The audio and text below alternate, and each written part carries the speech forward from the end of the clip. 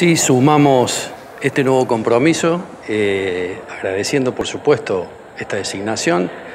eh,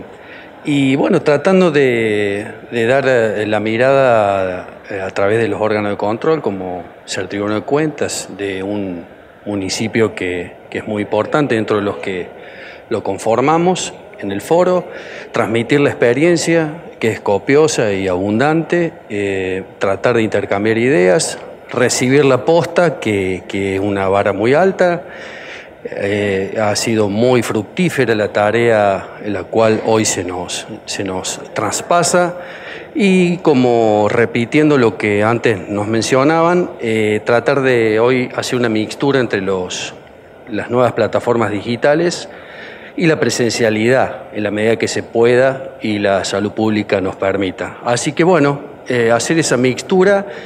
que nos permite por ahí estar en, casi en sesión permanente sin perjuicio de las reuniones que tenemos mensuales. Así que aceptando el desafío, esperando colaborar con este punto de vista dentro de los órganos de control. Sinceramente empezamos con una forma de actuación y terminamos hoy quizás enriquecido con un, con un montón de nuevos paradigmas, como es incorporar todos los medios digitales, por ejemplo,